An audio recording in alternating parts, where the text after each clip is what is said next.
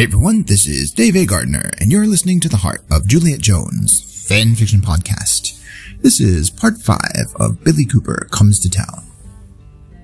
Meanwhile, back in that overly priced real estate location known as the city, high above the smog on the 21st floor of the Guantanamo building, in the offices of Atlas News Service, it was like everyone and their uncle was on vacation.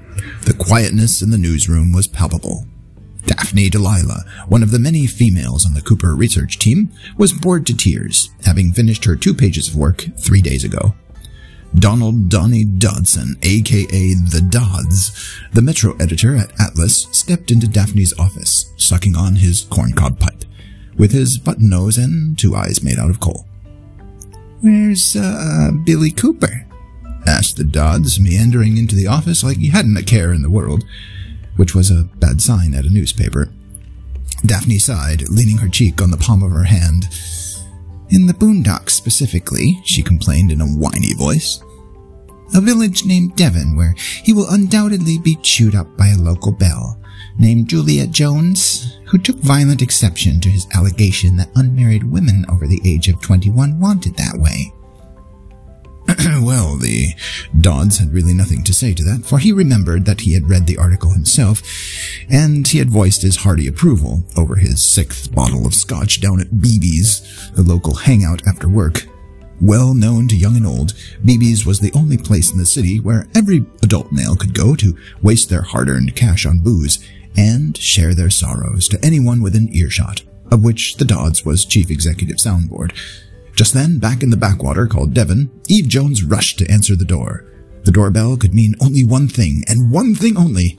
Either Deirdre was coming over to return Eve's I Got Lucky album of Elvis Presley that she had borrowed for a dance with her boyfriend, or the other one thing, Francois was coming over to ask Julie out.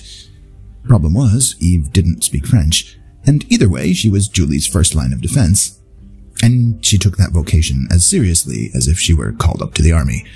If that was Francois, Julie had once coached her, pull open the door like you mean it. He likes it when you act tough and harsh with him, so scream at the man, she had said. He loves that. Eve knew that she had been kidding, but in the military, you know, an order was an order. Eve wrenched open the door and was about to get her Spec Ops challenge on when she had noticed that the handsome gentleman staring back at her was clearly not Francois and wasn't even French. But hello, he had the most gorgeous blue eyes. Tall, handsome, and dashingly dashing. A mouth that could curl slightly, an eyebrow that could lift, and every woman in this side of the Western Hemisphere would be putty in his hands, just like Eve was now. Like chocolate that you forget to pull out of your pocket after three days, melting into that look of innocence and foray, falling headlong into the sheer magnificence of his half-priced cologne. The man spoke. I'm Billy Cooper of Atlas News Service. Miss Jones? he asked, removing his fedora and holding it to his chest. That's me, Eve replied. Or, or did you mean Miss Juliet Jones?